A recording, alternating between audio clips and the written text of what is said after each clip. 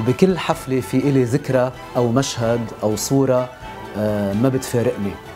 بس أكثر مشهد بيتكرر هو وقت الفرقة الموسيقية بتعزف المقدمة الموسيقية قبل ما تطل الست على المسرح. ساعتها دايما بتملكني إحساس أو شعور وكأنه هاي اللحظة بتشبه يا إما أول لحظة بالحياة أو آخر لحظة. يعني بخاف إنه تخلص وبخاف إنه ما تبلش. ما بعرف ليه يعني.